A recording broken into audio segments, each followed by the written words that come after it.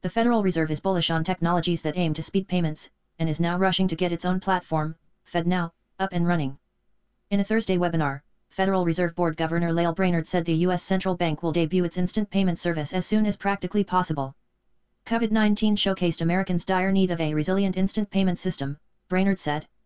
FedNow aims to be the answer, even if it won't arrive until 2023 or 2024.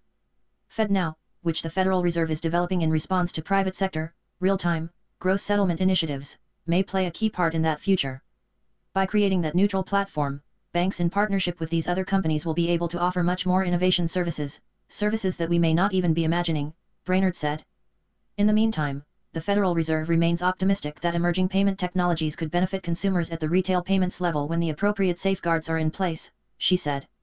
She also cited the impact of the Facebook-linked Libra stablecoin, repeating her past assertion the global stablecoin project raises fundamental questions about private money regulation, legality, and its potential economic implications.